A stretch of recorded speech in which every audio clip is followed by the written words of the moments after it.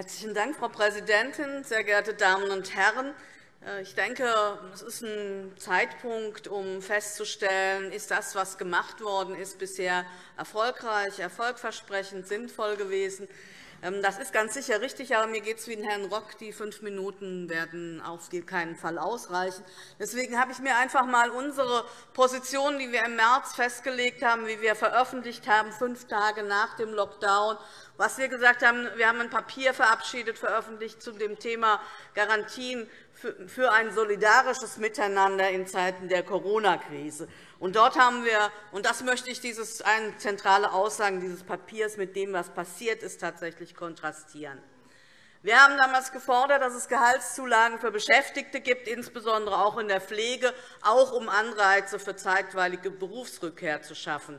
Das werden wir mit den 1.500 € nicht hinbekommen, die ja auch nur für die Mitarbeiter der Pflege und der Altenpflege, Gesundheitswesen, Altenpflege bekommen und andere, die vergleichbare Tätigkeiten machen, leer ausgehen. Und Sie haben natürlich versäumt, und ich denke, das ist das Entscheidende, und wir müssen unser Gesundheitswesen tatsächlich äh, Corona festmachen. Wir müssen es überhaupt festmachen für eine gute Versorgung. Sie haben versäumt, die Arbeitsbedingungen für das Personal in Gesundheitseinrichtungen zu verbessern. Die Verfügbarkeit von Hygieneprodukten auch für Kitas und Schulen ließ ewig auf sich warten. Das treibt inzwischen echte Blüten, wenn Schulleitungen und Berufungen auf das Kultusministerium die Eltern anweisen, Handtücher und Seife mit den Kindern in die Schule zu geben, damit sie sich zwischendrin die Hände waschen können. Ich weiß noch gar nicht, ob von Seife also, es wäre mir unbekannt, dass von Seife die Viren ausgehen übertragen werden können. Aber solche Blüten treibt das eben. Und die Kommunen waren die ganze Zeit oder weitgehend oder viel zu lange auf sich selbst gestellt, wenn es um die Schutzausrüstung geht. Und viele Einrichtungen haben ja heute noch das Problem, dass sie sich völlig überteuerte Produkte anschaffen müssen. Es gab z. B. keine und es gibt immer noch keine Maßnahmen vonseiten des Landes, um wohnungs- und obdachlose Menschen mit grundlegenden Hygieneprodukten zu versorgen. Arme Menschen wurden in der Krise sowieso vergessen. Sie haben keinen Aufschlag auf die Grundsicherung erhalten, obwohl vieles teurer geworden ist und die Tafeln lange, genug nicht aktiv waren. Die Hilfe des Landes für die Tafeln war nur ein kleiner Schritt. Allerdings fiel dieser dieser Teil einer, inzwischen einer Armutsstruktur in Deutschland viel zu lange aus.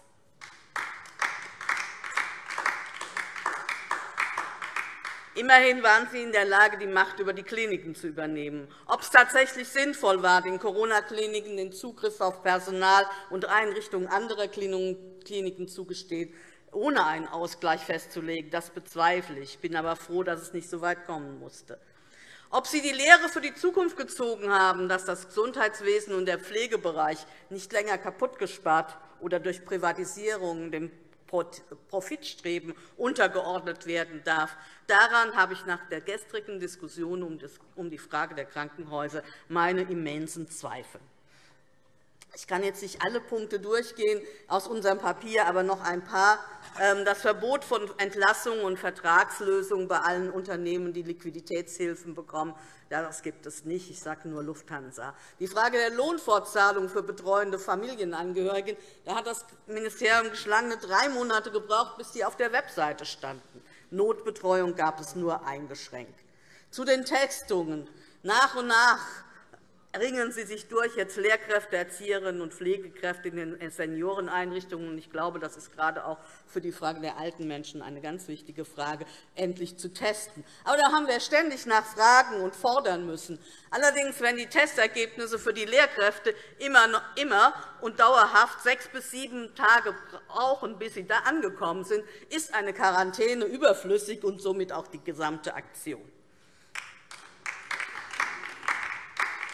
Immerhin wurden ja teilweise die Sanktionen und Leistungskürzungen beim SGB II ausgesetzt und Sozialleistungen unbürokratisch gewährt. Das könnte allerdings auch auf Dauer so bleiben. Allerdings gibt es kein Pandemieüberbrückungsgeld für Soloselbstständige. Ich denke, hier gerade in diesem Bereich muss dringend etwas passieren. Es wäre doch eine gute Initiative, wenn wir tatsächlich ein Grundeinkommen für Kulturschaffende anführen. Das wird auch in Nicht-Pandemiezeiten gebraucht.